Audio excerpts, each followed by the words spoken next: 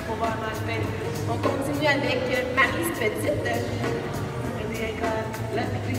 Dans le marine cette fois-ci. Le marine est très très tendance cet automne. Belle couleur, riche.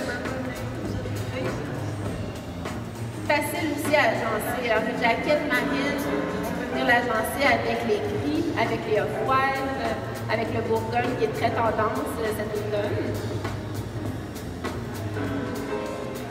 Très belle.